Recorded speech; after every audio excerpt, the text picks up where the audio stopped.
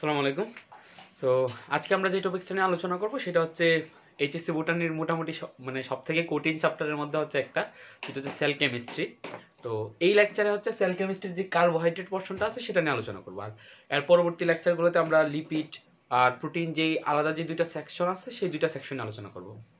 So এটার মধ্যে carbohydrate এটা হচ্ছে খুব ভালো মানে এই চ্যাপ্টারের উপর খুব ভালো একটা বেসিক থাকাটা জরুরি। কারণ হচ্ছে এটা শুধুমাত্র বুটানির জন্য না। কারণ হচ্ছে আমরা যখন জুওলজির থার্ড চ্যাপ্টার পড়ব, অর্থাৎ থার্ড চ্যাপ্টার থার্ড চ্যাপ্টারই মেবি যে আমাদের যে খাদ্য যে পরিপাক, সেটাও কিন্তু কঠিন চ্যাপ্টার মনে হয়। কিন্তু সেটা হচ্ছে সব থেকে সোজা চ্যাপ্টার যদি এটা কেউ বুঝে। এবং এই চ্যাপ্টারের দ্যাট মিনস এই চ্যাপ্টারের বেসিক দিয়ে আমরা জুওলজির পরিপাক করতে পারব। আর একটা হচ্ছে এই চ্যাপ্টারের বেসিক দিয়ে আমরা হচ্ছে প্ল্যান্ট ফিজিওলজি পড়তে পারব, অর্থাৎ উদ্ভিদ শরীরতত্ত্ব যেটা সব, মোটামুটি মানে সব থেকে কঠিন চ্যাপ্টারের আরেকটা হচ্ছে উদ্ভিদ শরীরতত্ত্ব বা প্ল্যান্ট ফিজিওলজি দ্যাটস ওয়াই এই জিনিসটা খুব ভালো করে বোঝাটা প্রয়োজন। সো আমি খুব ভালো করে বোঝাবো। সো আমরা যেটা দেখব সেটা হচ্ছে কার্বোহাইড্রেট সো শুরুতে বলি যে অ্যাকচুয়ালি হোয়াট ইজ কার্বোহাইড্রেট বা কার্বোহাইড্রেট ইনিশিয়াল ডেফিনেশন কি? তো কার্বোহাইড্রেট নামকরণটা করা হয়েছে এই কারণে যে কার্বোহাইড্রেট মানে বোঝায় হচ্ছে কার্বোহাইড্রেট মানে বোঝায় হচ্ছে hydrates of carbon hydrates of hydrates of carbon hydrates of carbon মানে কি? হাইড্রেটস মানে হচ্ছে পানি বা ওয়াটার সো কার্বনের সাথে যখন আমরা পানিকে অ্যাড করব, তখন আমরা যে টাইপের যৌগ পাবো, অর্থাৎ এই ফর্মুলা মেনটেন করে আমরা যে সমস্ত যৌগ পাবো সেগুলো কি বলা হবে কার্বোহাইড্রেট এবং এইটা থেকে আমরা একটা অনুসিদ্ধান্তে আসতে পারি, এখানে কার্বন হাইড্রোজেন এবং যে অক্সিজেন আছে, তাদের যে অনুপাত আছে সেটা হচ্ছে one two one that means hydrates of carbon থেকে আমরা একটা অনুসিদ্ধান্তে আসতে পারি যে যে সমস্ত যৌগে কার্বন, হাইড্রোজেন এবং অক্সিজেনের অনুপাত ওয়ান, অনুপাত টু, অনুপাত ওয়ান, সেটাকে বলা হয় কার্বোহাইড্রেট। বাট সেই ডেফিনেশনটা অ্যাকচুয়ালি এখন আর খাটে না। সেটার কারণ হচ্ছে কার্বোহাইড্রেট যে এইটা, এই থিওরিটা যে one is to two two is to, one থিওরিটা সাধারণত মনোস্যাকারাইডের ক্ষেত্রে খাটে। মনোস্যাকারাইড মানে যেখানে শুধুমাত্র এক মানে যে কার্বোহাইড্রেটকে ভাঙলে আমরা অন্য কোনো ধরনের কার্বোহাইড্রেটকে পাবো না। আর ডাইস্যাকারাইড মানে হচ্ছে যেখানে দুইটা মনোস্যাকারাইড একসাথে হচ্ছে, সেটা হচ্ছে ডাইস্যাকারাইড। তো ডাই, এটা এই ফর্মুলাটা শুধুমাত্র মনোস্যাকারাইডের ক্ষেত্রে প্রযোজ্য।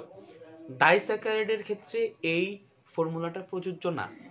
সেটা কেন প্রযোজ্য না? সেটা প্রয়োজন না হওয়ার কারণ হচ্ছে, আমি সামনে বুঝাবো বাট এখন একটু কথাটা বলে নিচ্ছি যে যখন দুইটা মনোস্যাকারাইড একসাথে হয়, তখন সেখান থেকে এক অনু পানি অপসারিত হয় দ্যাটস ওয়াই সেখানে এক পানি অপসারিত হয়ে গেলে অনুপাতটা ঠিক থাকে না। সো আমি যেটা বললাম যে দ্যাট মিনস কার্বোহাইড্রেটের যে এই যে যে ডেফিনেশনটা সেটা আলটিমেটলি রিয়েল ডেফিনেশন না। তাহলে রিয়েলি কার্বোহাইড্রেট বলতে কি বোঝায়, সেটা আমাদেরকে জানতে হবে।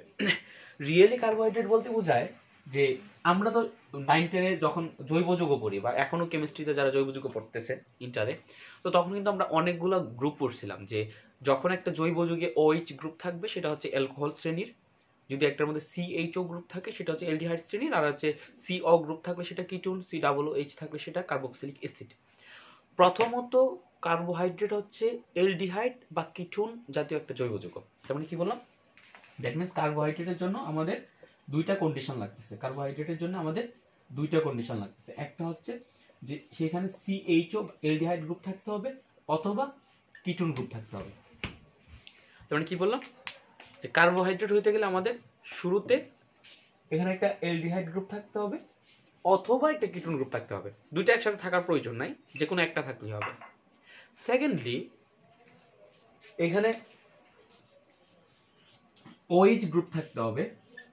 ওএইচ গ্রুপ কিন্তু আমাদের যে অ্যালকোহল অর্থাৎ অ্যালকোহল বা হাইড্রোক্সিল গ্রুপগুলো থাকতে হবে, সেই যে সেই যে হাইড্রোক্সিল গ্রুপগুলো থাকতে হবে সেই হাইড্রোক্সিল গ্রুপগুলা একের অধিক থাকতে হবে।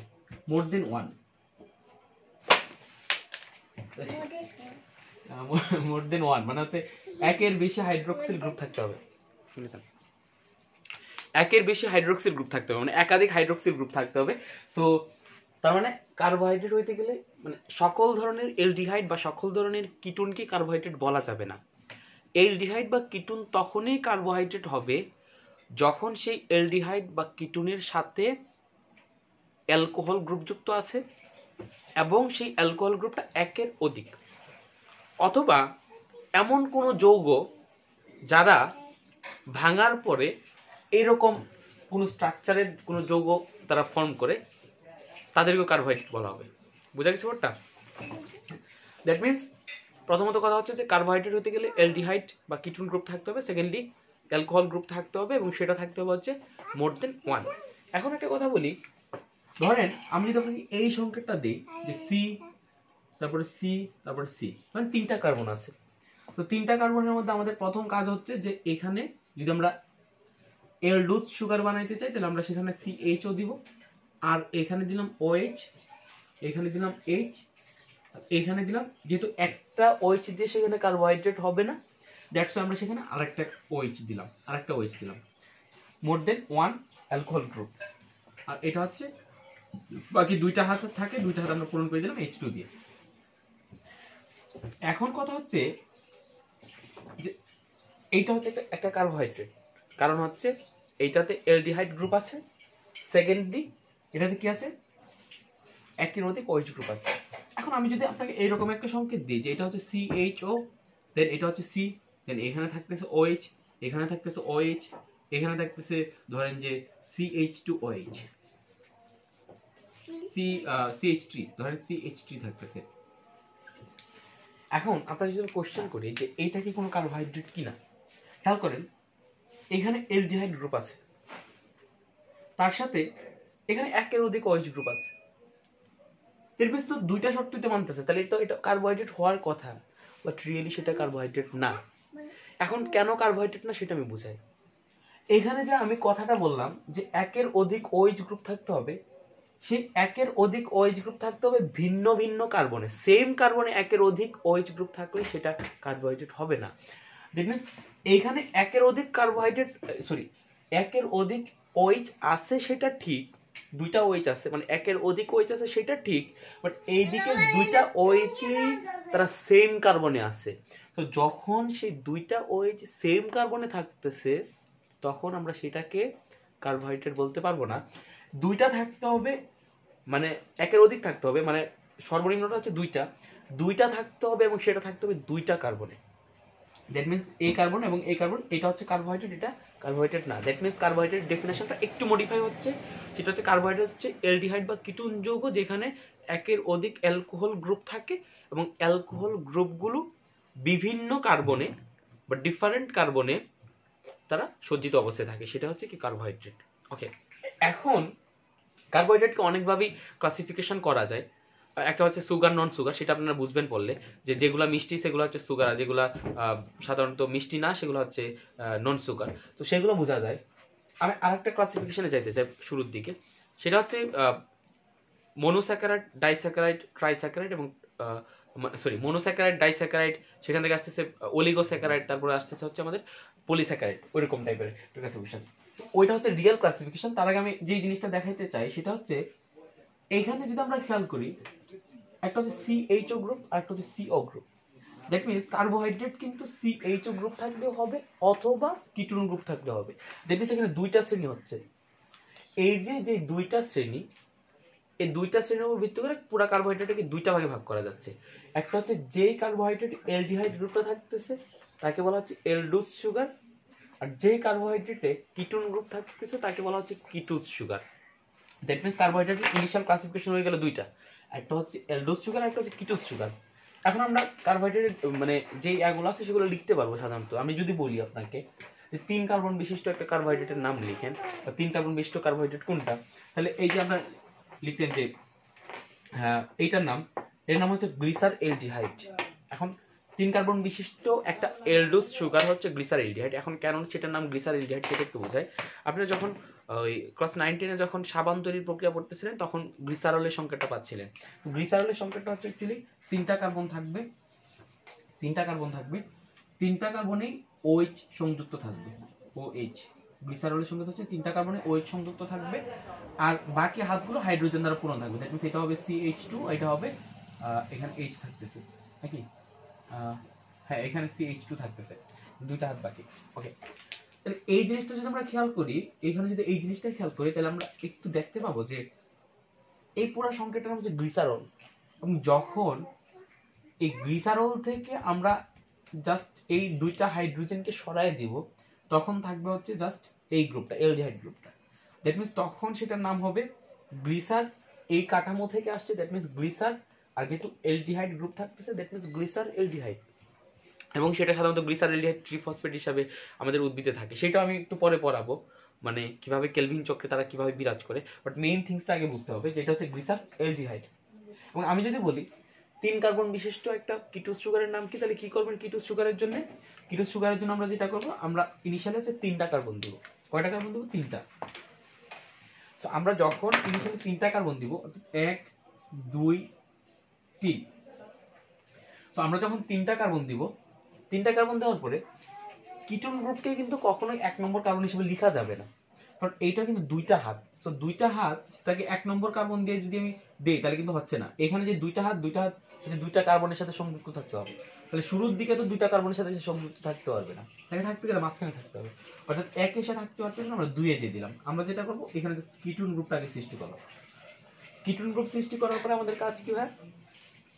অ্যালকোহল দেওয়া প্রতিটা কার্বনে অ্যালকোহল দেওয়া এবং একের অধিক যেন হয়। দ্যাট মিনস এখানে একটা ওইচ দিলাম। আমরা এইখানে আরেকটা ওইচ দিলাম। ক্লিয়ার এখন ওইচ দেওয়ার পরে এই কার্বনের বাকি আছে দুইটা হাত দ্যাট মিনস আমরা দুইটা হাইড্রোজেন দিলাম। এই কার্বন বাকি আছে দুইটা, দুই কার্বন দিলাম। দ্যাট মিনস এটা হয়ে গেল একটা তিন কার্বন বিশিষ্ট, এটা হয়ে গেল একটা তিন কার্বন বিশিষ্ট কিটোজ সুগার তো যখন বলব যে এটা হচ্ছে তিন কার্বন বিশিষ্ট কিটোজ সুগার এটার নামটা কি হবে? এটার নামটা হবে ডাইহাইড্রোক্সি অ্যাসিটুন কেন ডাইহাইড্রোক্সি অ্যাসিটুন আমি বলি? সাধারণত এই যে স্ট্রাকচারটা CH three CO then CH three এরকম একটা স্ট্রাকচারকে মেবি এসিটুন বলা হয়। আমি যদিও এতটা খুব ভালো শিওর না বাট আপনারা দেখে নিলে বুঝতে পারবেন। এই স্ট্রাকচারটাতে জাস্ট ওএইচ সংযুক্ত হয়েছে জাস্ট ওএইচ আসছে। দ্যাট মিনস দুইটা হাইড্রোক্সিল গ্রুপ আসছে। সেই জন্য সেটাকে বলা হচ্ছে ডাইহাইড্রোক্সি অ্যাসিটুন দ্যাট মিনস কি বলা হচ্ছে? সেটাকে ডাইহাইড্রোক্সি অ্যাসিটুন এইটাও উদ্ভিদে সাধারণত ডাইহাইড্রোক্সি অ্যাসিটুন ফসফেট রূপে বিরাজ করে। এবং সেটার আমি ডিটেলস বুঝাবো, কীভাবে ডাইহাইড্রোক্সি অ্যাসিটুন রূপে বিরাজ করে। বাট আগে জাস্ট একটা ভিত্তি দাঁড় করাচ্ছি দেন আমি মানে ওগুলোর ফাংশনে যাব। কারণ আপনি যদি স্ট্রাকচার না চিনেন, তখন আমি ফাংশন দিলে লাভ নেই। দ্যাট মিনস এটা গেল। দ্যাট মিনস আমরা এই পাশে একটা কাজ করব। এই পাশে হচ্ছে কয়টা কার্বন জনিত আমরা ইয়া লিখতেছি। আই মিন কয়টা কার্বন জনিত আমরা সুগার লিখতেছি সেটা লিখব, একদিকে লিখব এলডুস সুগার আর আরেকদিকে হলো কিটোস সুগার তাদের নামটা, কোনটা, কি হচ্ছে? তাহলে এটা গেল হচ্ছে আমাদের মানে তিন কার্বন বিশিষ্ট এলডোস সুগারকে বলা হচ্ছে গ্লিসার এলডিহাইড আর তিন কার্বন বিশিষ্ট কিটোস সুগারকে বলা হচ্ছে ডাইহাইড্রোক্সি অ্যাসিটুন দ্যাট আমরা এখানে লিখব aldose sugar aldose sugar ketose sugar এই চারটা আমাদের জন্য খুব দরকার। সেটা হচ্ছে তিন কার্বন বিশিষ্ট। তিন কার্বন বিশিষ্ট আসতেছে হচ্ছে glyceraldehyde glycer glyceraldehyde aldehyde আর এখানে তিন কার্বন বিশিষ্ট কিটোজ সুগার আসতেছে হচ্ছে dihydroxy dihydroxy acetone dihydroxy acetone চার কার্বন বিশিষ্ট সুগার কি আসতেছে? এখন খুব ইজি বানানগুলো, আমি বলি। ইজি কীভাবে? ইজি হচ্ছে এখন চার এবং পাঁচ যে সুগারগুলো আছে সেগুলোর যেই নামগুলো আছে, সেই নামের সাথে যখন আমরা উলুস সংযুক্ত করব, তখন সেটা হয়ে যাবে কিটুস সুগার আই মিন আমি বলি চার কার্বন বিশিষ্ট একটা সুগার আছে, যেটাকে বলা হবে টেট্রুজ। যেহেতু সেখানে চারটা কার্বন আছে দ্যাটস সেটাকে বলবে টেট্রুজ। এরা সবাই, এরা হচ্ছে ট্রাইউজ কারণ এদের মধ্যে তিনটা কার্বন আছে। যখন আমরা চারটা কার্বন দিব, এক, দুই, তিন, চার, এবং আমরা যদি চারটা কার্বনের এলডুস বানাইতে চাই, তখন আমরা দিব হচ্ছে সিএইচও দেন আমরা দিব এখানে ওএইচ এখানে দিব এইচ এখানে দিব ওএইচ এখানে দিব এইচ এখানে যদি একটা ওএইচ দিই, বাকি থাকে দুইটা হাত দ্যাট মিনস আমরা দিব এইচ টু এখন এইটার নাম ধরেন ইরিথ্রুজ এবং ইরিথ্রুজ ফোর ফসফেট হিসাবে সেটা উদ্ভিদে থাকে, সেটা একটু পরে বোঝাবো।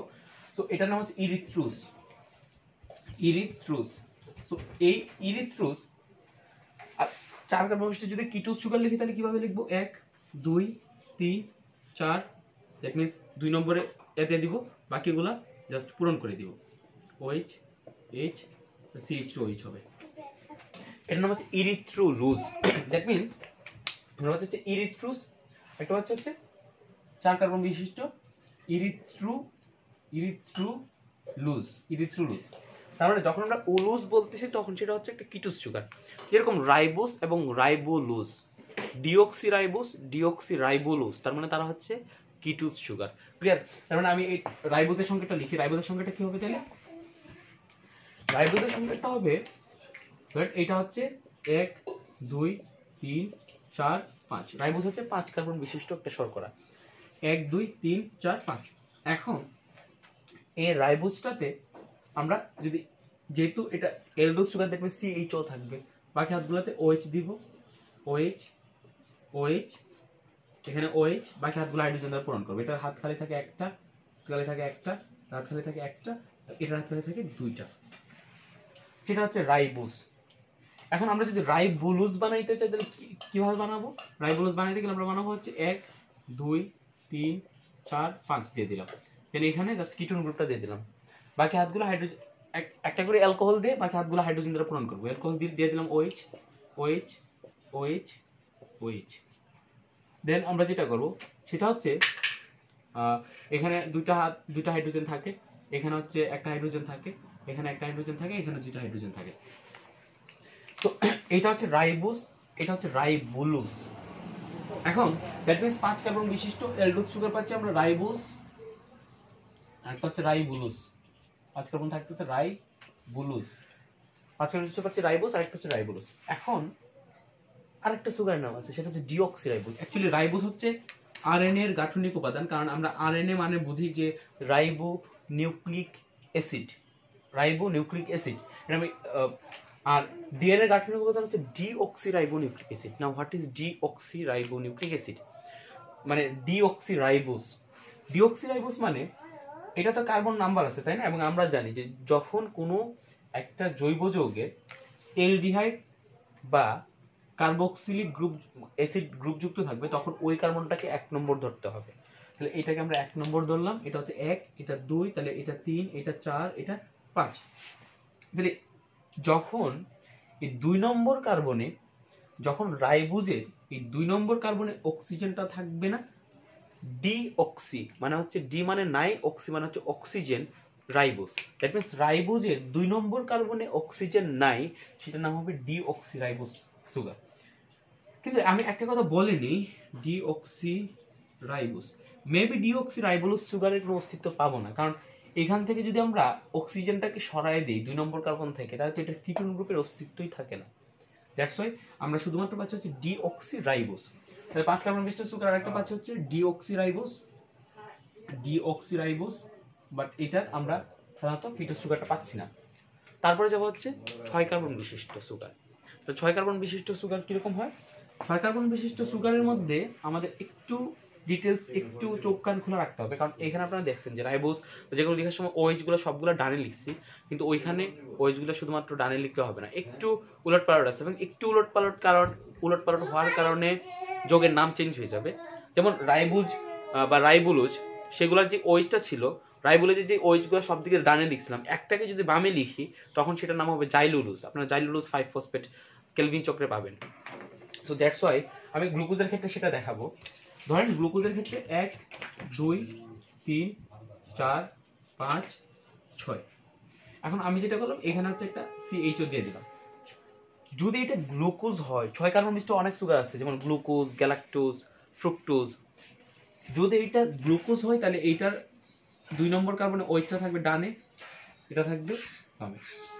আর এই যে ওইচ দিলাম না দেন এখানে যে এটা আছে কার্বন আছে, এখানে এখন দিব ওইচ দিছি এদিকে, এখন দিব এদিকে এইচ এখানে দিব হচ্ছে ওইচ এখানে দিব আবার ওইচ এখানে দিব আবার এইচ এখানে দিব ওএইচ এখানে দিব এইচ আর এখানে তো সিএইচ টু এইচ আসবে। এটা হচ্ছে গ্লুকোজ এটা একটা ছয় কার্বন মিষ্ট সুগার এখন এই সংকেতগুলো একটু লিখে রাখেন, কারণ একটু পরে আপনাদের দরকার পড়বে। আমি বারবার দেখবেন যে সাথে সাথে লিখে ফেলছি, তখন আবার বলবেন যে কি লিখছি। এটা হচ্ছে গ্লুকোজ। এখন আরেকটা ছয় কার্বন বিশিষ্ট সুগার আছে, সেটার নাম হচ্ছে গ্যালাক্টোজ। নাও গ্যালাক্টোজের সংকেতটা কি? গ্যালাক্টোজ সংকেত হচ্ছে এক, দুই, তিন, চার, পাঁচ, ছয়। এইটার মধ্যে সি এইচ ও সেম এটার মধ্যে এখানের ওএইচ এখানের H same main configuration change হচ্ছে তিন নম্বর কার্বনে দ্যাট মিনস তিন নম্বর কার্বনে এখন এদিকে যে এইচটা ছিল, সেই এইচটা আসবে এদিকে এদিকে যে ওএইচটা ছিল, সেটা আসবে এদিকে। দ্যাট মিনস এদিক এখানে আসতেছে ওএইচ আর এখানে দিতেছি আমরা এইচ এখানে পরে সবকিছুই সেম দ্যাট মিনস জাস্ট এই কার্বনটা চেঞ্জ আর হচ্ছে এদিকে হচ্ছে ওএইচ এদিকে হচ্ছে এইচ তারপরে ঠিক আছে সবকিছু। CH two OH that means এইটাকে বলা হচ্ছে আপনার গ্যালাক্টুস গ্যালাক্টুস আর হচ্ছে ফ্রুক্টোজ ফ্রুক্টোজ হচ্ছে কিটোজ সুগার সেটা এলডোজ না। দ্যাট মিনস গ্লুকোজ এবং গ্যালাক্টোজ দুটো হচ্ছে এলডোজ সুগার আর ফ্রুক্টোজের ক্ষেত্রে যেহেতু সেইটা ফ্রুক্টোজ যেহেতু হচ্ছে আমাদের কি সুগার ফ্রুক্টোজ যেহেতু আমাদের I mean ketose sugar that means এক, দুই, তিন, চার, পাঁচ, ছয়। আমরা দুই নম্বরে ও দিয়ে দিব, বাকি হাতগুলো হাইড্রোজেন দ্বারা পূরণ করে দিব। যা ছিল গ্লুকোজের স্ট্রাকচার সেরকম হবে। এখানে তিন নম্বর কার্বনে কি ছিল? এইচটা ছিল ডান দিকে ওইচটা ছিল বাম দিকে। এদিকে ছিল OH then H, then OH then H, then CH2OH clear এটা হচ্ছে ফ্রুক্টোজ ফ্রুক্টোজ এখন কি করে এগুলো হচ্ছে গ্লুকোজ গ্যালাক্টোজ এবং ফ্রুক্টোজের সংকেত। দ্যাট মিনস ছয় কার্বন বিশিষ্ট এলডোজ সুগার হিসেবে আমি নাম লিখতে পারি। গ্লুকোজ এবং গ্যালাক্টোজের আর ছয় কার্বন বিশিষ্ট কিটোজের নাম লিখতে পারি ফ্রুক্টোজের ক্লিয়ার মোটামুটি এইগুলার মানে এগুলার স্ট্রাকচার পড়ানো শেষ। আমি এখন এগুলোর ফাংশনে যাব। কারণ এগুলোর ফাংশন পড়ায় দেন আমি রিং স্ট্রাকচারে যাব। গ্লুকোজের বা গ্লুকোজের ফ্রুক্টোজের রিং স্ট্রাকচার কি? রিং স্ট্রাকচার দিয়ে তারা কীভাবে ডাইস্যাকারাইড ফর্ম করতেছে? কীভাবে পলিস্যাকারাইড ফর্ম করতেছে? সবগুলোতে যাব। বাট বইয়ের প্রত্যেকটা লাইন যেহেতু পড়াবো, সেহেতু আগে এই সবটা ফাংশনটা বুঝে নিই আমি যেটা করব, এখানে ফাংশনের সাথে সাথে ফাংশনগুলো আমি কিন্তু লজিক্যালি মনে রাখাবো, মুখস্থ করাবো না। ফাংশনগুলো লজিক্যালি মনে রাখানোর সাথে সাথে আমি এই চ্যাপ্টারের অ্যানজাইমের যতটুকু পোর্শন আছে, কিছুটা পোর্শন এদিকে পড়ায় ফেলব বিকজ এটা পড়ালে আপনাদের জন্য সুবিধা হবে রিলেট করতে সুবিধা হবে। এবং প্রথমে আমি যেটা করব, একটু কেলভিন চক্র নিয়ে একটু খেলাধুলা করব। কেলভিন চক্র, আপনারা প্ল্যান ফিজিওলজিতে পড়বেন, সেটা নিয়ে আমার ভিডিও আছে। সো এখানে জাস্ট একটু রিভিউ দিচ্ছি। আর কেলভিন চক্র তোমরা ক্লাস নাইনটিনে পড়ছেন সো এটা ম্যাটার কেলভিন চক্রটা যেটা, আমরা জাস্ট একটু কেলভিন চক্র নিয়ে আলোচনা করব। কারণ কেলভিন চক্র নিয়ে আলোচনা করলে এগুলো ফাংশনগুলো একেবারে ক্লিয়ার হয়ে যাবে। মানে আপনারা আশা করি যে সংকেতগুলো লিখে ফেলছেন। এতটুকু সময়।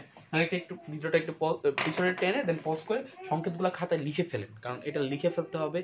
আপনার নাইলে পরে দেখবেন যে একটু পরে ভেজাল লাগাই ফেলবেন। কারণ এখানে দেখছেন তো ওই একটা টানে একটা বামে, এরকম একটু পরে নিজের মাথা পাতল হয়ে যাবে। তো যেটা বলছিলাম, সেটা হচ্ছে কেলভিন চক্র যেটা হয় কেলভিন চক্রে আমরা পড়ছিলাম যে পাতায় পূর্ব হতে অবস্থিত রাইবোলোজ ওয়ান ফাইভ বিস ফসফেটের সাথে কার্বন ডাইঅক্সাইড বিক্রিয়া করে। কার্বন ডাইঅক্সাইড বিক্রিয়া করে সেখানে কি করে?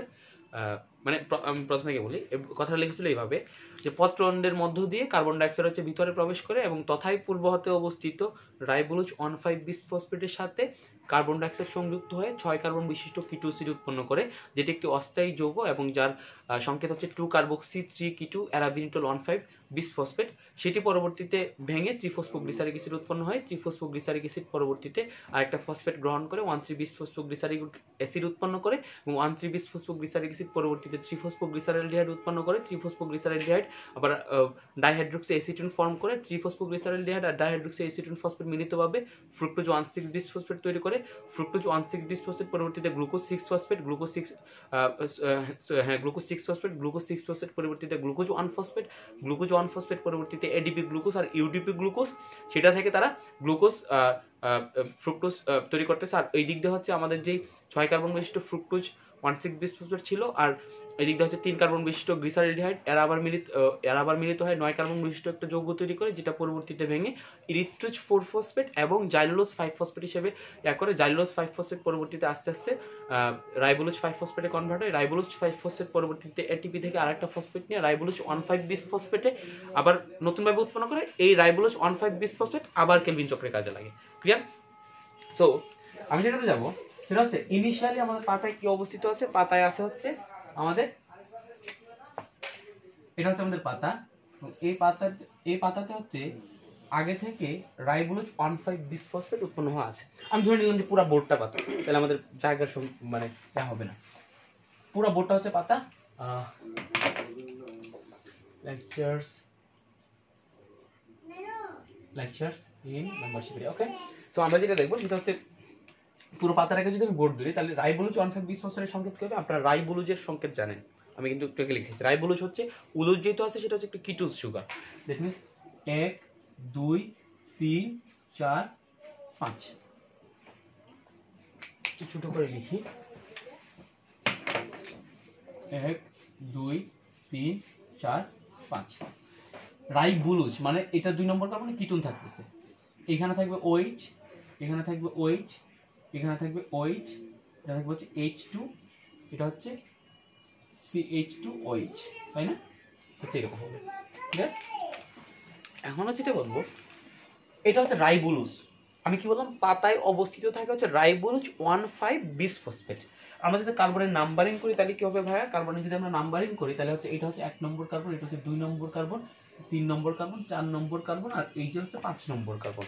ক্লিয়ার সো এখন এই এক নম্বর আমি সংকেত দেখে বুঝতেছি। রাইবোলোজ ওয়ান ফাইভ ডাইফসফেট বা বিস ফসফেট সংকেত দেখে বুঝতেছি যে এক নম্বর কার্বন আর এই যে পাঁচ নম্বর কার্বন আছে, সেখানে ফসফেট গ্রুপ অ্যাড থাকবে। এবং আপনারা ফসফেট গ্রুপটা জানেন ফসফেট গ্রুপ হচ্ছে P O four three minus তাই না? এই ফসফেট গ্রুপ যখন এখানে অ্যাড হবে, তখন এইখান থেকে অ্যাকচুয়ালি ওয়েস্টে চলে যাবে এবং এইখানে আসবে হচ্ছে ফসফেট গ্রুপ ফসফেট গ্রুপটা কানেক্টেড হবে হচ্ছে এইভাবে সি এইচ টুটাকে এখানে দেখাই। এখানে। আর এখানে আমাদের যে ফসফেট আছে, সেখানে একটা ও থাকবে, এটার সাথে ফসফেট থাকবে। ফসফেটের যে একটা ও এর মাইনাস যাবে হচ্ছে আর তার থাকবে এইভাবে আর থাকবে হচ্ছে এইভাবে এটা হচ্ছে একটা phosphate group that means P O three minus two minus maybe two minus হবে। আর যেটা হোক দ্যাট মিনস এদিকে একটা ফসফেট গ্রুপ অ্যাড আছে জাস্ট আপনাদের ডিটেল স্ট্রাকচার মনে রাখা এতটা প্রয়োজন নেই বাট জাস্ট একটু বোঝানোর সুবিধার্থে লিখতেছি এখানে। জাস্ট এটা জাস্ট এটা। আমি পরবর্তীতে এখানে এই ফসফেট গ্রুপের এত ডিটেল স্ট্রাকচার না লিখে আমি জাস্ট গুল দিয়ে মাঝখানে একটা পি লিখব। মানে এখানে বোঝা যাবে যে এখানে ফসফেট অ্যাড আছে। তাহলে আমি সেটাই করি। আপনাদের এত জটিল এক করে লাভ নেই। তাহলে এখানে জাস্ট আমরা একটা ফসফেট গ্রুপ অ্যাড করে দিই এরকম ভাবে। আহ, না অক্সিজেনটা দিই কারণ অক্সিজেনের সাথে ফসফেট দেন ফসফেটটা আসছে। অক্সিজেন যেন হচ্ছে এরকম ফসফেট যেন হচ্ছে অক্সিজেন এরকম ফসফেট আপনি বুঝতে পারছেন যে কীভাবে সংযুক্ত তারা। এখন এটা হচ্ছে আবার ribulose one five ribulose one five diphosphate bis phosphate কি হলো? পত্রন্ডের মধ্যে দিয়ে একটা কার্বন ডাইঅক্সাইড ভিতরে প্রবেশ করল। যখন কার্বন ডাইঅক্সাইড ভিতরে প্রবেশ করল, খেয়াল করেন, এখানে কার্বন ডাইঅক্সাইডের মধ্যে কার্বন আছে কয়টা ভাই? একটা কার্বন দ্যাট মিনস এই দিকের এই একটা কার্বন আর এই যে এদিকে পাঁচটা কার্বন এখন যদি দুইটা একসাথে সংযুক্ত হয়, তাহলে ছয় কার্বন বিশিষ্ট একটা যৌগ হবে। তাহলে ছয় কার্বন বিশিষ্ট যৌগটা যখন হবে কার্বন ডাইঅক্সাইড মানে কি ভাই? সি ডাবল ও অ্যাকচুয়ালি যেটা করে, সেটা হচ্ছে, এই কার্বন ডাইঅক্সাইডটা আসার পরে এক নম্বর কার্বনের সাথে সে যুক্ত হয় এবং সে যুক্ত হয় অ্যাকচুয়ালি এক নম্বর কার্বন এবং দুই নম্বর কার্বনের মাঝখানে। তো সে যখন এক নম্বর কার্বন এবং দুই নম্বর কার্বনের মাঝখানে সংযুক্ত হয়, তখন ব্যাপারটা হয়ে যায় এরকম। C H two O P আর এটা হচ্ছে এখানে চলে আসে সি ডাবল ও এই সি ডাবল ও কি করে? আর একটা হাইড্রোজেন কোন জায়গা থেকে গ্রহণ করে, সে হয়ে যায় সি ডাবল এইচ আর এটা থেকে হচ্ছে আমাদের সি আমি এইগুলো দিচ্ছি না, কারণ এই কিটো অ্যাসিডের সংখ্যাটা একটু জটিল, যেটা আপনাদের জানা দরকার নেই, আমি জাস্ট জিনিসটা একটু বোঝানোর চেষ্টা করতেছি। এই এক নম্বর আর দুই নম্বরের মাঝখানে যদি এটা চলে আসে, তাহলে এইটা চলে যাবে তিন নম্বরে, আর বাকি কার্বনগুলো থাকবে এইভাবে। আমরা কয়টা কার্বন পেলাম এক, দুই, তিন, চার, পাঁচ, ছয়। এখন খেয়াল করেন? এই যে এখানে ছয়টা কার্বন, ছয়টা কার্বনের মধ্যে মূলক আছে হচ্ছে দুইটা। একটা হচ্ছে সি ডাবল এইট যেটাকে আমরা বলতেছি কার্বক্সিলিক অ্যাসিড আর আরেকটা হচ্ছে কিটুন গ্রুপ দ্যাটস ওয়াই এই দুইটাকে একসাথে বলা হয় কিটুন গ্রুপ থেকে নেওয়া হয়েছে কিটু কার্বক্সিলিক অ্যাসিড থেকে নেওয়া হয়েছে অ্যাসিড দ্যাট মিনস সেটাকে বলা হয় কিটো অ্যাসিড এবং সেটা হচ্ছে ছয় কার্বন বিশিষ্ট মানে পাতায় আগে থেকে রাইবোলোজ ওয়ান ফাইভ বিসফসফেট ছিল সেখানে কার্বন ডাইঅক্সাইড ঢুকলো। কার্বন ডাইঅক্সাইড ঢুকার পরে ছয় কার্বন বিশিষ্ট অস্থায়ী তারা কি করছে? অস্থায়ী কিটো অ্যাসিড উৎপন্ন করছে। এবং কিটো কিটুটা হচ্ছে তিন নম্বর কার্বনে সেই জন্য বলছিলাম two carboxy three keto arabinitol one five diphosphate এদিকে ফসফেট থাকে that means one five diphosphate বোঝা গেছে? পরবর্তীতে যেটা হয়, ও আচ্ছা এই জায়গায় রুবিস্কো এনজাইম কাজে লাগে, সেটা এখন দরকার নেই সেটা আপনারা যখন প্ল্যান্ট ফিজিওলজিতে করবেন তখন কাজে লাগবে। এরপরে যেটা যেটা হয় সেটা হচ্ছে বিভিন্ন কনফিগারেশনে চেঞ্জ হয় এবং সেটা হচ্ছে মাঝখানে ভেঙে যায়। যদি মাঝখানে ভেঙে যায়, ছয়টা কার্বন যদি মাঝখানে ভেঙে যায়, তখন তিন কার্বন বিশিষ্ট দুইটা যৌগ পাচ্ছে। এই যে একটা হচ্ছে তিন কার্বন বিশিষ্ট একটা যৌগ আর হচ্ছে তিন কার্বন বিশিষ্ট একটা যৌগ সেটার নাম হচ্ছে triphospho glyceric acid triphospho glyceric অ্যাসিডের সংকেতটা কি হবে? আমরা গ্লিসারি আমরা তো গ্লিসারিলডিহাইডের সংকেত জানি। তাই গ্লিসারিক অ্যাসিডের সংকেত অবশ্যই জানব। আমি আগে গ্লিসারিলডিহাইডটা লিখি। গ্লিসারিলডিহাইডের জন্য আমরা কি লিখছিলাম? এক, দুই, তিন। একটা লিখছিলাম সিএইচও দেন এখানে লিখলাম ওএইচ এখানে এইচ এখানে টু ওএইচ দ্যাট মিনস এটা যেটা হবে সেটা হচ্ছে গ্লিসারিক অ্যাসিড মানে সি ডাবল ও এইচ গ্রুপটা থাকবে সি ডাবল এইচ গ্রুপটা আর কি বললাম? দ্যাট মিনস এটা হচ্ছে এক নম্বর কার্বন মানে এটা যেহেতু সি ডাবল এইচ মূলক, এটা হচ্ছে এক নম্বর কার্বন এটা হচ্ছে দুই নম্বর কার্বন এটা হচ্ছে তিন নম্বর কার্বন দ্যাট মিনস এই যে যে তিন নম্বর কার্বন সেই তিন নম্বর কার্বনটাতে একটা যদি ফসফেট অ্যাড থাকে যদি ফসফেট অ্যাড থাকে এইটা দেন হচ্ছে ফসফেট এটার নাম হচ্ছে থ্রি ফসফো এটা যেহেতু গ্লিসারিক অ্যাসিড এটা যেহেতু গ্লিসারল ছিল সেখান থেকে আনলাম গ্লিসারিক অ্যাসিড মানে মূলকটা দ্যাট মিনস সেটাকে আমরা বলতে পারি three phospho glyceric acid. That means three phospho glyceric acid. আমি কি বললাম? তাহলে কার্বন ডাইঅক্সাইড পাতে প্রবেশ করল, সাথে পূর্ব হতে অবস্থিত রাইবোলুজ ওয়ান ফাইভ ডাইফসফেটের সাথে কার্বন ডাইঅক্সাইড বিক্রিয়া করে, ছয় কার্বন বিশিষ্ট একটা কি ফর্ম করল? কিটো অ্যাসিড ফর্ম করল। ছয় কার্বন বিশিষ্ট কিটো অ্যাসিড পরবর্তীতে ভেঙে ত্রিফসফোগ্লিসারিক অ্যাসিডে কনভার্ট হলো। এই যে এখানে ত্রিফসফোগ্লিসারিক অ্যাসিড সেটা পরবর্তীতে আরেকটা সে ফসফেট গ্রহণ করল। আরেকটা সে কি করল? আরেকটা সে ফসফেট গ্রহণ করল। এই যে সে আরেকটা ফসফেট গ্রহণ করল, সেটা সে গ্রহণ করল এক নম্বর কার্বনে দ্যাট মিনস এক নম্বর কার্বনে সে যখন ফসফেট গ্রহণ করতেছে, তখন আমরা দেখতে পাচ্ছি সিও দেন আমরা এখানে জাস্ট ও দেন এটা পি দিব। আর এখানে যে সি ও এইচ এটা হচ্ছে এইচ এটা হচ্ছে C H two O P তার মানে এটা হচ্ছে এটা হচ্ছে ওয়ান থ্রি ডাইফসফোগ্লিসারিক অ্যাসিড বা one three bis phosphoglyceric acid bis মানে ডাই এবার আমরা এটাকে লিখতে পারি one one three bis phosphoglyceric acid এখন একটা জিনিস একটু খেয়াল করি। যদি কখনো এরকমটা হয় যে কোনো একটা অ্যানজাইম এই জায়গায় অবশ্যই একটা অ্যানজাইম কাজে লাগছে, কোনো একটা অ্যানজাইম কোনো একটা যৌগের সাথে এটিপি কে সংযুক্ত করে অর্থাৎ এটিপি থেকে ফসফেট নিয়ে সংযুক্ত করে। কারণ এটিপির স্ট্রাকচারটা যদি আমরা দেখি এটিপিতে এটিপি মিনস হচ্ছে এডিনোসিন ট্রাইফসফেট না হোয়াট ইজ এটিপি ওকে আগে এটিপি স্ট্রাকচারটা দেখাই দেন আমি এখানে যাব। What is ATP ATP means হচ্ছে এডিনোসিন ট্রাইফসফেট এডিনোসিন ট্রাইফসফেট এখন what does mean adenosine triphosphate যদি অ্যাকচুয়ালি এটিপি হচ্ছে one type of nucleotide that is very very important basic and আপনি যখন মেডিকেলে যাবেন, তখন আপনাদের স্যাররা এই কোশ্চেনটা জিজ্ঞাসা করবে যে এটিপি কি নিউক্লিওটাইড কি না? আচ্ছা আমরা আগে দেখি যে নিউক্লিওটাইড হইতে গেলে সেখানে কয়টা জিনিস লাগে? Nucleotide is a summation of three molecules তিনটা জিনিস লাগে সেখানে। একটা হচ্ছে nitrogen base nitrogen base nitrogen ক্ষার adenine guanine cytosine thymine plus কি লাগে? প্লাস লাগে হচ্ছে ফা- পাঁচ কার্বন বিশিষ্ট সুগার পাঁচ কার্বন হচ্ছে সুগার তার সাথে কি লাগে ভাই? তার সাথে লাগে হচ্ছে ফসফেট গ্রুপ তার সাথে লাগে হচ্ছে ফসফেট গ্রুপ এখন এটিপিতে এডিনোসিন ট্রাইফসফেট অ্যাকচুয়ালি ধরেন এটা হচ্ছে একটা পাঁচ কার্বন বিশিষ্ট সুগার যেটাকে আমরা বলতেছি রাইবোজ যেহেতু সেটা পাঁচ কার্বন বিশিষ্ট সেহেতু সেটাকে আমরা লিখতেছি পঞ্চভুজ আকারে। আমরা যখন রিং স্ট্রাকচার পড়াবো তখনই বুঝবেন। তো এখন এটা হচ্ছে একটা পঞ্চভুজ আকৃতির সুগার মানে পাঁচ কার্বন বিশিষ্ট সুগার সেইটার সাথে যখন এডিনিন সংযুক্ত হচ্ছে নাইট্রোজেন বেস তখন এর পুরো মলিকিউলসটার নাম হচ্ছে এডিনোসিন তার মানে কি বলো? এডিনিন তার সাথে যখন পাঁচ কার্বন বিশিষ্ট রাইবোস সংযুক্ত হচ্ছে, তখন সেটার নাম হচ্ছে এডিনোসিন আর আপনারা যখন ফার্স্ট চ্যাপ্টার পড়বেন, তখন আরেকটা স্ট্রাকচার পাবেন সেটা হচ্ছে ডিঅক্সি এটিপি ডিএটিপি সেটা মানে কি?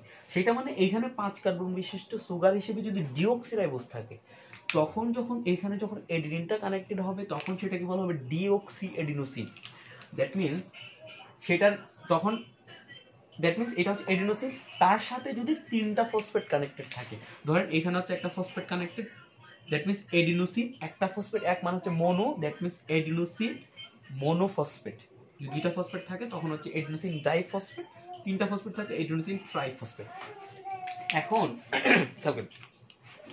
কোনো একটা এনজাইম যদি আচ্ছা ডিঅক্সি এটিপি মানে তো বুঝলেনি জাস্ট পাঁচ কার্বন সুগার তিনটা থাকবে। দ্যাট মিনস এটিপি যে নিউক্লিওটাইড কেন বললাম আমি বলি? কারণ নিউক্লিওটাইড হইতে গেলে তো নাইট্রোজেন বেস দরকার।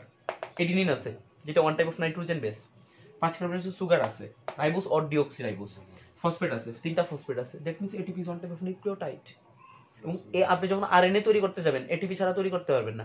অনেকেই ভাবে যে এটিপি শুধুমাত্র শক্তি তৈরিতে লাগে। আরে না রে ভাই নিউক্লিওটাইড লাগবে না। এটিপি তো নিউক্লিওটাইড জিটিপি সিটিপি টিটিপি ওগুলো তো নিউক্লিওটাইড ইউডিপি ইউটিপি সেগুলো তো নিউক্লিওটাইড এবং সেগুলো আমি যখন স্ট্রাকচার অফ ডিএনএ পড়াই তখন খুব ভালোভাবে পড়াইছি আমাদের এক নম্বর লেকচার মানে এক নম্বর চ্যাপ্টারে ভিডিও আছে সেখানে দেখতে পারেন।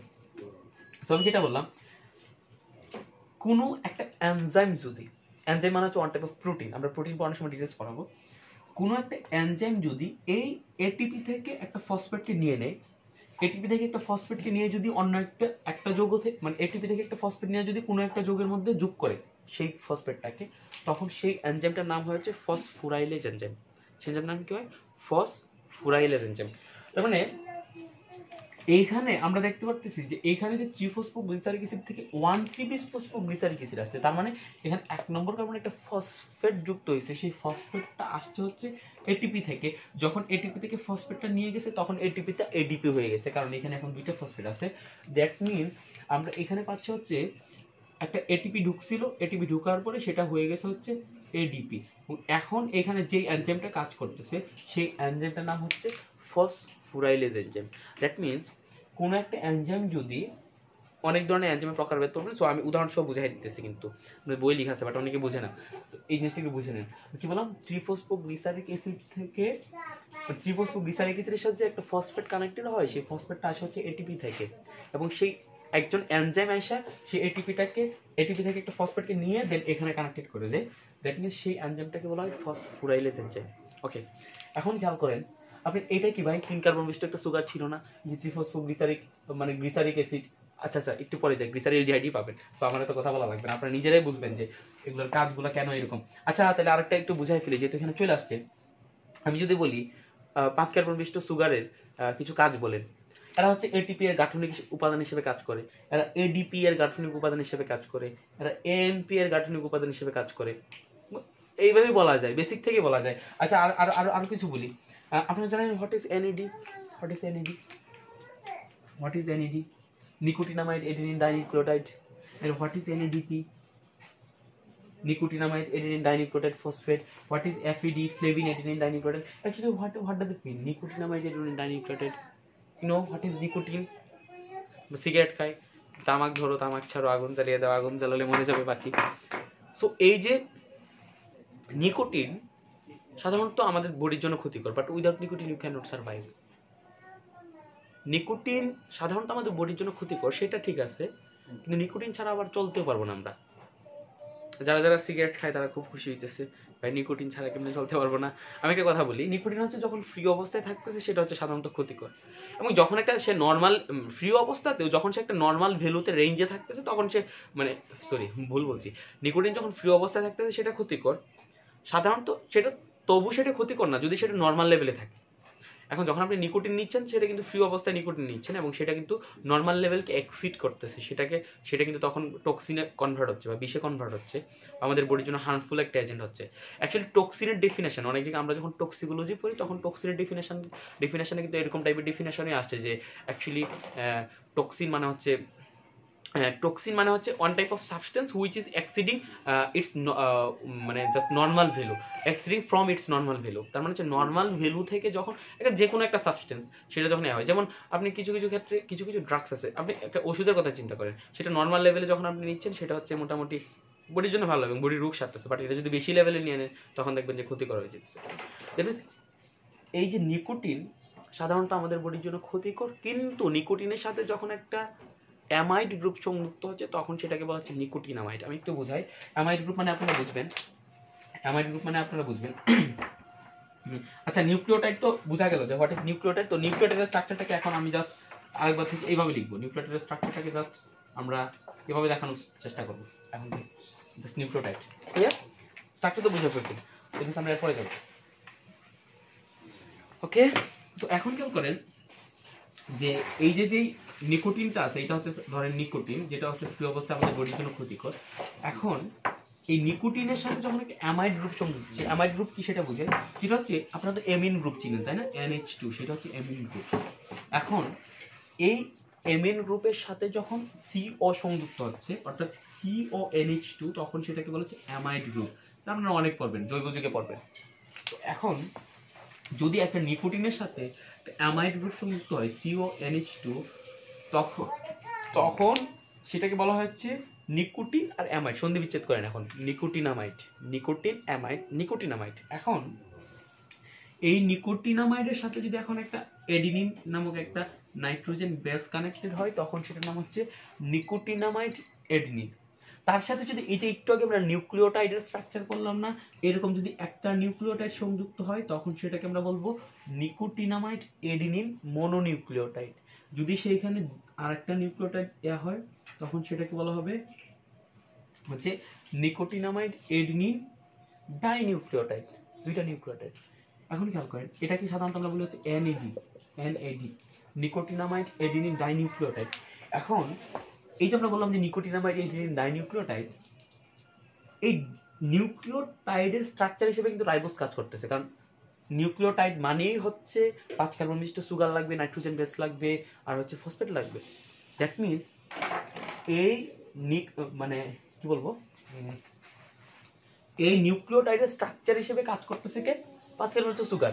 আবার এই নিউক্লিওটাইড কার স্ট্রাকচার হিসেবে কাজ করতেছে? এনএডি এর তার মানে আমরা বলতে পারি ইনডিরেক্টলি এনএডি এর গাঠনিক উপাদান হচ্ছে পাঁচ সুগার এখন এই এনএডি এর সাথে যদি এখানে যদি একটা ফসফেট কানেক্টেড হয়, তখন আমরা নাম দিব নিকোটিনামাইড এডিডিন ডাইনিউক্লিওটাইড ফসফেট তার সাথে যদি দুইটা হাইড্রোজেন কানেক্টেড হয়, তখন আমরা নাম দিব reduced nicotinamide adenine dinucleotide phosphate বুঝা যাবে? দ্যাট মিন্স কি বললাম যে এনএডিপি বা এনএডিপিএইচ দ্যাট মিন্স এই পাঁচ কার্বন মিষ্ট সুগারের একটা কাজ আমরা বলে ফেলতে পারি। সেটা হচ্ছে এটিপি এর গাঠনিক উপাদান হিসেবে কাজ করে ডিওক্সি এটিপি এর গাঠনিক উপাদান হিসেবে কাজ করে, আর কি করে? এনএডি এর গাঠনিক উপাদান হিসেবে কাজ করে এনএডিপি এর গাঠনিক উপাদান হিসেবে কাজ করে ফ্লেভিন এডিনিন ডাইনিউক্লিওটাইড ওইদিকে নিউক্লিওটাইড আছে দ্যাট মিন্স এফিডি এর গাঠনিক উপাদান হিসেবে কাজ করে কোএনজামের গাঠনিক উপাদান হিসেবে কাজ করে। মানে মুখস্থ করার তো কিছু নাই, সব কিছু বুঝে বুঝে বলা যাইতেছে? তো আমরা এইখানে ছিলাম। আমরা এখানে ছিলাম জাস্ট হচ্ছে এখানে তাহলে পাঁচ কার্বন বিশিষ্ট সুগারের যে ফাংশন ছিল, সেই ফাংশন আমাদের মুখস্থ হয়ে গেল, তাই না? ফাংশন আমরা বুঝে বুঝে পড়ে ফেললাম ক্লিয়ার এখন আমরা দেখব যে এখানে যে one three bisphospho glyceric acid আছে, সেটা কি হবে? অ্যাকচুয়ালি এই one three bisphospho glyceric acid থেকে এখন যেটা হবে, সেটা হচ্ছে এইখানে যে ভাইয়া এই গ্রুপটা আছে না, এই যে ফসফেটটা এই ফসফেটটাকে সরাই দিবে। এই ফসফেটটাকে একটা এনজাইম এই ফসফেটটাকে নিয়ে নিবে। একটা এনজাইম এই ফসফেটটাকে নিয়ে নিবে। যখন এই এনজাইমটা একটা ফসফেটটাকে নিয়ে নিবে, তখন সে এই ফসফেটটাকে নিয়ে, এই ফসফেটটাকে সরায় সে একটা হাইড্রোজেনকে এই জায়গায় অ্যাড করে দেয় দেখুন, আমি যদি ফসফেটটাকে সরাই, যদি হাইড্রোজেনকে অ্যাড করি, তাহলে আমরা কি পাবো ভাইয়া? এখানে অ্যাকচুয়ালি পাবো সি ও ছিল না, তাহলে আমরা হাইড্রোজেনটাকে অ্যাড করে এভাবে সাজিয়ে লিখতে পারি C H O C H O এখানে লিখতে পারি সি ও এইচ এইচ এটা হচ্ছে C H two O P ঠিক আছে। তার মানে এখানে একটা এনজাইম কাজ করতেছে। যেই এনজাইমটা এখান থেকে ফসফেট গ্রুপটাকে সরাই দিয়ে, এখান থেকে কি বললাম? ফসফেট গ্রুপটাকে সরাই দিয়ে এখানে একটা হাইড্রোজেনকে ইনপুট করে দিতেছে।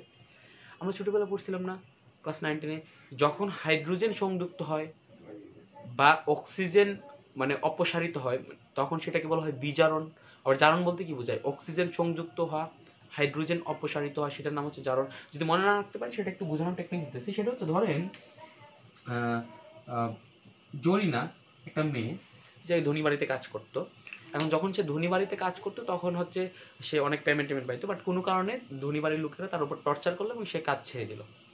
যখন কাজ ছেড়ে দিল, তখন তো তার সংসারে আস্তে আস্তে ঋণ লাগা শুরু হলো তার মানে সে আর এখন পেমেন্ট পাচ্ছে না দ্যাটস ওয়াই তার সংসারে ঋণ লাগল। দ্যাট মিনস জরিনা ধনী বাড়ির ধনী বাড়ির কাজ ছেড়ে কাজ ছেড়ে সংসারে সংসারে ঋণ লাগাইল। তার মানে কি? জরিনা মানে হচ্ছে জারণ ভাইয়া। জারণ। ধনী বাড়ির কাজ ছাড়লো মানে ধনাত্মক ছাড়ন। আর সংসারে ঋণ লাগছে মানে হচ্ছে ঋণাত্মক, লাগা মানে সংযোজন। তার মানে জারণ তাকে বলা হবে যখন ধনাত্মক কিছু অপসারণ হবে ঋণাত্মক কিছু সংযোজন হবে। হাইড্রোজেন হচ্ছে তড়িৎ ধনাত্মক মূলক অক্সিজেনের থেকে তুলনামূলক তড়িৎ ধনাত্মক মূলক হচ্ছে হাইড্রোজেন অক্সিজেন হচ্ছে তড়িৎ ঋণাত্মক মূলক। তাহলে আমরা এটাকে এইভাবে বলতে পারি। তাহলে হাইড্রোজেনের যখন অপসারণ ঘটতেছে অক্সিজেনের যখন সংযোজন ঘটতেছে, দুইটা থেকে যে কোনো একটা ঘটনা ঘটতেছে, তখন সেই ঘটনার নাম দিতেছে আমরা জারণ। তো এখন, তাহলে এইখানে যদি এই এনজাইমটা এই এনজাইমটা যদি এখান থেকে হাইড্রোজেনটাকে, একটা ফসফেট গ্রুপকে সরায় দিয়ে সেখানে একটা হাইড্রোজেনকে ইনপুট করে দেয় দেখবেন সে প্রথমে কি কাজটা করল? সে এইখান থেকে পিও ফসফেট মানে ভাই পিও ফোর থ্রি মাইনাস মানে একটা নেগেটিভ মানে হচ্ছে তড়িৎ ঋণাত্মক, একটা তড়িৎ ঋণাত্মক মৌলকে সে সরাইলো। আচ্ছা ঋণাত্মক সরানো মানে কি? ভাই ঋণ লাগানো মানে হচ্ছে জারণ, তার মানে ঋণ সারানো, সরানো মানে হচ্ছে ভাই বিজারণ তার মানে এই জায়গায় সে বিজারণ ঘটাইলো এবং যখন সে আবার একটা তড়িৎ ধনাত্মকে সংযুক্ত করল হাইড্রোজেনকে মানে কি ধনাত্মক সংযোজন, ধনাত্মক ধনাত্মক ছাড়া মানে হচ্ছে জারণ দেখবি ধনাত্মক সংযোজন মানে বিজারণ আবার বিজারণ ঘটাইলো। দেখবেন আলটিমেটলি সে বিজারণ ঘটাইলো। এখন যখন সে এই কাজটা করল, তখন সে এনজামটার নাম, এই এনজামটা শুধুমাত্র, এই এনজামটা শুধুমাত্র এক কাজ করে না। আই মিন এই এনজামটা শুধুমাত্র এক কাজ করে না আই মিন শুধুমাত্র বিজারণ ঘটে না, এই এনজামটা জারণও ঘটায়। তো যে এনজামগুলো সাধারণত বিজারণ, জারণ সেগুলো ঘটাচ্ছে, সেই এনজামগুলোর নাম হচ্ছে অক্সিডো রিডাকটেস কেন ভাই? অক্সিডো রিডাকটেস অক্সিডেশন মানে জারণ রিডাকশন মানে বিজারণ। এজ হচ্ছে যে কোনো এনজামের যে কোনো কিছুর নামের শেষে যখন আমরা এস দিব, সেটা বোঝায় যে সেটা একটা enzyme that means oxido reductase হচ্ছে একটা এনজাইম এবং সেখানে আমরা উদাহরণটা বলে ফেলতেছি, কোন জায়গা থেকে? কোন জায়গা? One three bis glyceric acid থেকে গ্লিসার এলডিহাইড থ্রি ফসফেট যে থ্রি পি এবং এখানে যে এনজাইমটা কাজ করতেছে সেটার নাম হচ্ছে কি?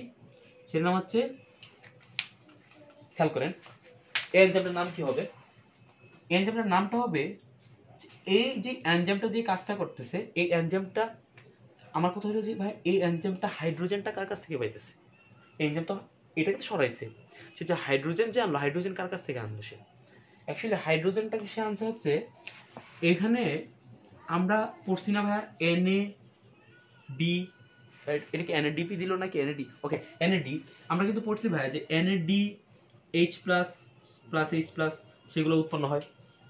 অ্যাকচুয়ালি এই এনজাইমটা যে হাইড্রোজেনটা আছে, সে আনছে হচ্ছে এই বিজারিত এনএডি থেকে। সো সে এই বিজারিত এনএডি থেকে হাইড্রোজেনটাকে কি করছে ভাইয়া? সে বিজারিত এই এনএডি থেকে হাইড্রোজেনটাকে টান দিয়ে এনে এটাকে সরায় দেন এখানে অ্যাড করছে। দ্যাট মিনস এখানে যখন সে অ্যাড করল এই হাইড্রোজেনটাকে তখন তো আর এনএডি আর তো আর এই হাইড্রোজেনগুলো নাই। দ্যাট মিনস এনএডি আছে এনএডি দ্যাট মিনস এই এনজাইমটা এই এনজাইমটা এইখানে এনএডি থেকে হাইড্রোজেনকে সরাইছে। দ্যাট মিনস ডিহাইড্রোজিনাস এবং সে কি তৈরি করতে সে সরাইছে? সে গ্লিসারেলডিহাইড থ্রিফসফেট তৈরি করতে সরাইছে। দ্যাট মিনস সেই এনজাইমের নাম হবে গ্লিসারেলডিহাইড থ্রিফসফেট ডিহাইড্রোজিনাস কি বললাম? গ্লিসারেলডিহাইড ট্রিফসফেট ডিহাইড্রোজিনেস এনজাইম তাহলে সেখানে কাজে লাগতেছে। লজিক্যালি মনে রাখা যায়, ও আচ্ছা এই এনজাইমটার নামটা আমি বলি নাই। এই এনজাইমটার নাম হচ্ছে ফসফোরাইলেস তো, সেটা মানে ওই এনজাইম শ্রেণীটার নাম, যে এনজাইমটা এই কাজটা করছে। এইখানে সে কি করতেছে? এইখানে সে যে কাজটা করতে হয় সেটা হচ্ছে ট্রিফসফো গ্লিসারিক অ্যাসিড থেকে সে one three bis phospho glyceric acid মানে তৈরি করতেছে। দ্যাট মিনস এই এনজাইমটার নাম হবে, ভাইয়া, সে দেখেন এখন সে ট্রিফসফো গ্লিসারিক অ্যাসিড থেকে ফসফো গ্লিসারিক অ্যাসিড তৈরি করতেছে। এবং সে যেটা করতেছে, একটা ফসফেটকে অ্যাড করতেছে। যখন আমরা দেখব যে একটা ফসফেট অ্যাড হচ্ছে, তখন সেই এনজাইমটার নামের শেষে সাধারণত কাইনেস শব্দটা আসে কাইনেস দ্যাট মিনস এখানে কার সাথে ফসফেটকে সংযুক্ত করা হচ্ছে ভাই? থ্রি ফসফো গ্লিসারিক অ্যাসিড থেকে। দ্যাট মিনস এখানে এনজাইমটার নাম হচ্ছে three phospho glycerate kinase that means কি বললাম? কাইনেস কখন হবে, যখন একটা এটিপি থেকে, যখন একটা ফসফেট অ্যাড হবে, তখন সেই এনজাইমটার নামের শেষে সাধারণত কাইনেস থাকবে।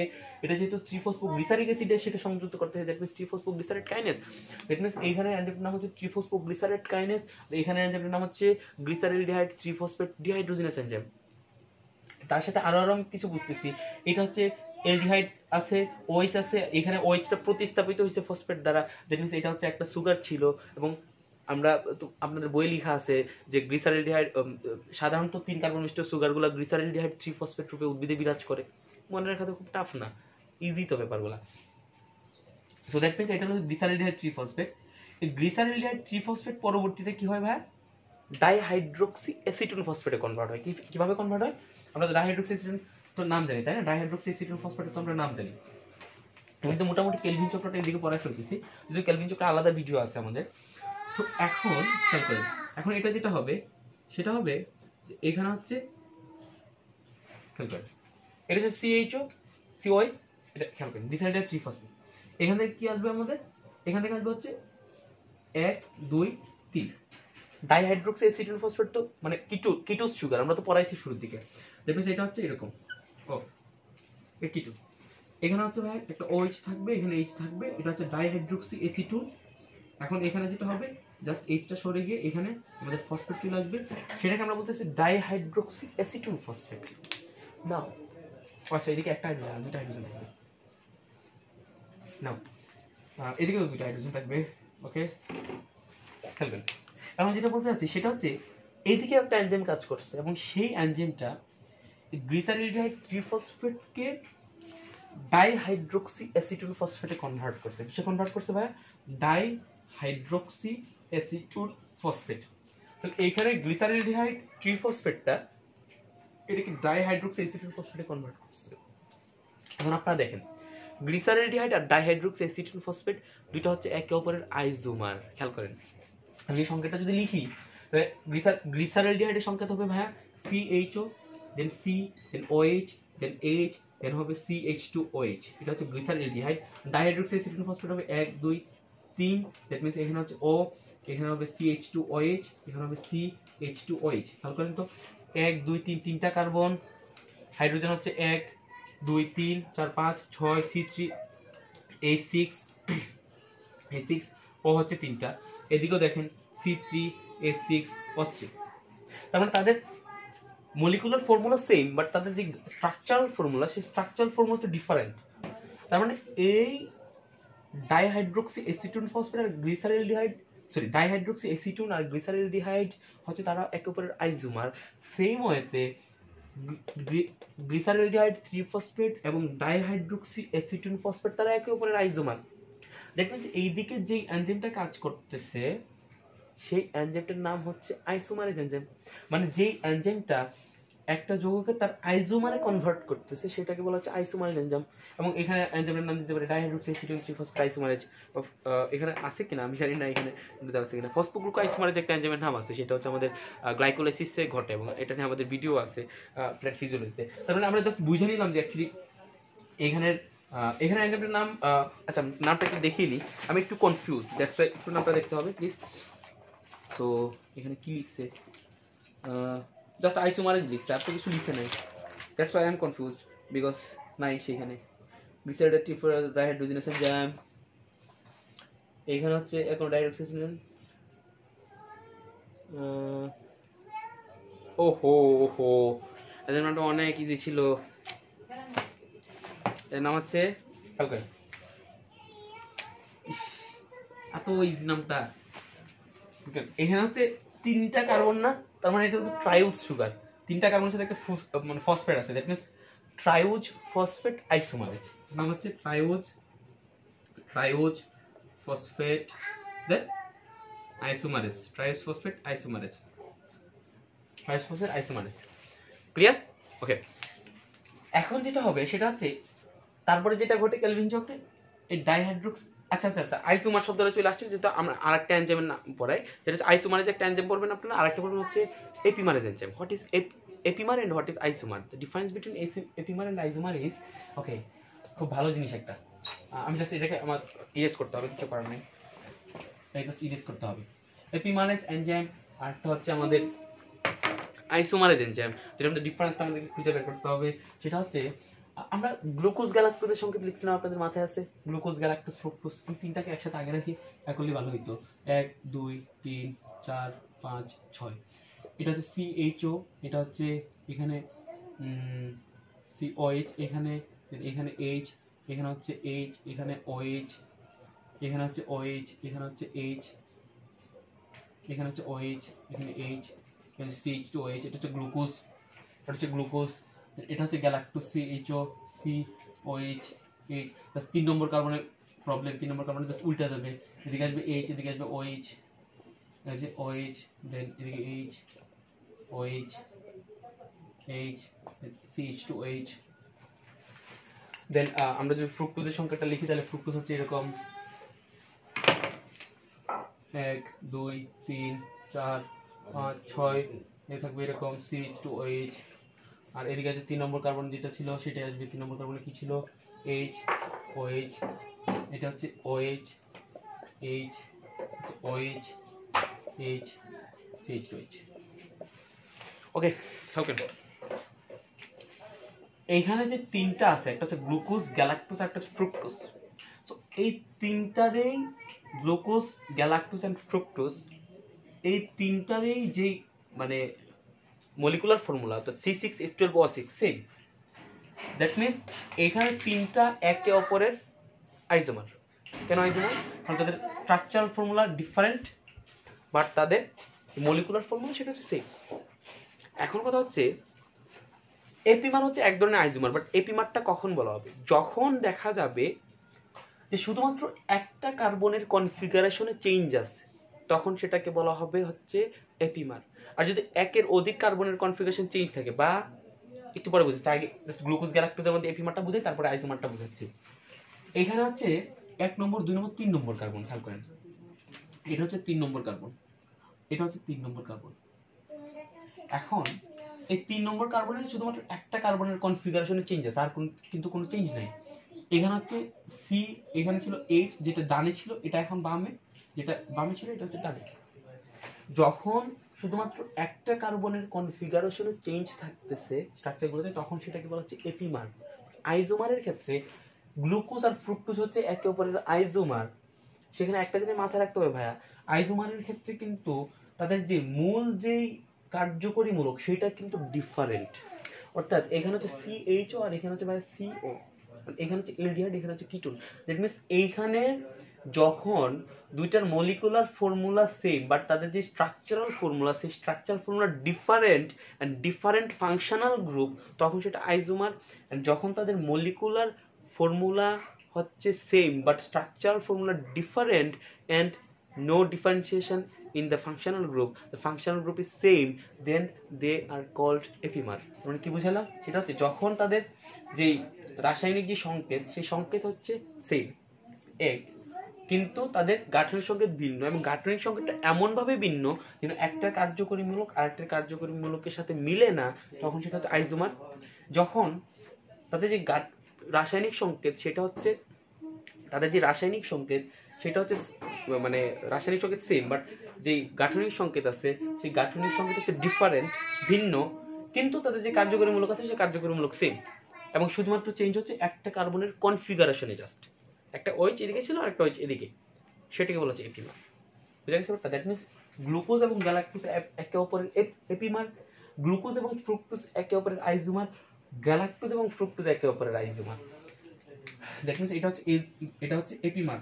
এটা হচ্ছে এপিমার আর এটা হচ্ছে আইজোমার ক্লিয়ার আইজোমার এখন, তাহলে এটাই বলতে চাচ্ছিলাম যে এখানে হচ্ছে, খেয়াল করেন, এখানে হচ্ছে এই যে glyceraldehyde triphosphate dihydroxy acetone phosphate এদিকে ছিল এলডিহাইড, এদিকে হচ্ছে কিটোন দ্যাট তারা একে অপরের আইসোমার সেই জন্য নাম হচ্ছে ট্রাইসফসফেট আইসোমার কিন্তু যদি আমরা এমন কোনো এনজাইম পাই, যেই এনজাইমটা এই গ্লুকোজটাকে গ্যালাক্টোজে কনভার্ট করতেছে, তখন সেটার নাম হচ্ছে এপিমারেজ মানে এপি মারেজ এনজাইম। ঠিক এই কাহিনীটা করে আপনাদের কেলভিন চক্রে, যখন হচ্ছে জাইলোলোজ থেকে রাইবোলোজ ফর্ম হয়। জাইলোলোজ এবং রাইবোলোজ দুইটাই পাঁচ কার্বন বিশিষ্ট শর্করা জাস্ট তাদের ওইচের ডিফারেন্সটা আছে। সো যখন xylulose five phosphate ribulose five ফসফেটে convert হয়, তখন সেখানে এপিমারেজ এনজাইম লাগে। দ্যাটস দ্য বেসিক সো যেটা বলতে চাচ্ছি সেটা হচ্ছে, এটা হচ্ছে ডাইহাইড্রোক্স এসিডিন ফসফেট তার পরবর্তীতে কি ঘটে সেটা আমরা একটু দেখি। তার পরবর্তীতে যেটা ঘটে সেটা হচ্ছে,